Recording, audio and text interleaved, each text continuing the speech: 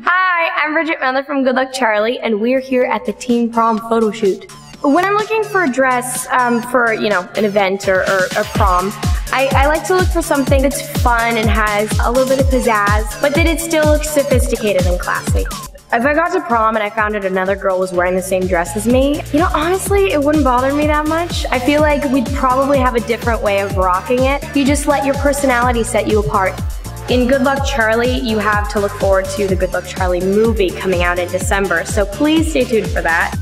If I got to prom and realized my date was kind of lame, honestly, I would probably ditch him for my friends. I'm gonna have fun, and he's welcome to join. I've been writing songs and recording songs. There's a song that I also wrote actually for the Good Luck Charlie movie, and it's called I'm Going to Run to You. So you'll be able to jam out to that one also.